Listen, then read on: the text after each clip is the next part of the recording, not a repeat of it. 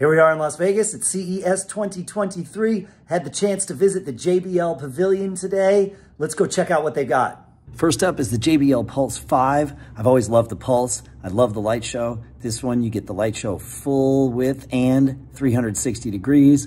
It's got two speakers in it so that you get high end and low end. The sound coming out of this thing, even in the pavilion there, really amazing stuff. Party boost so you can link it with all your other speakers.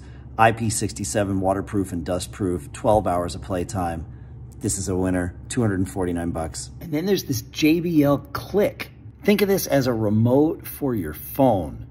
It lets you play, skip track, pause, change volume, but think about doing it on your bike like they have it here, or you could put it on your wrist to use when you're like skiing or snowboarding and you've got gloves on, you don't want to have to mess with your phone. Very cool thing, 40 bucks. And then there's the Tour Pro 2.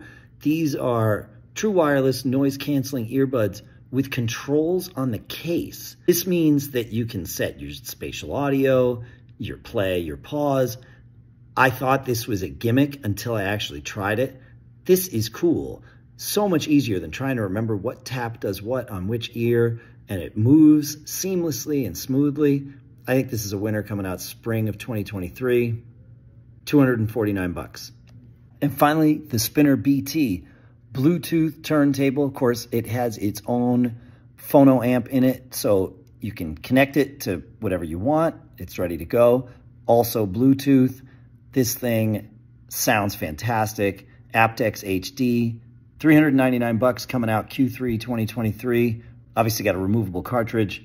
This is one to keep an eye on, folks. 399 bucks. That's a wrap for this one. See you next time.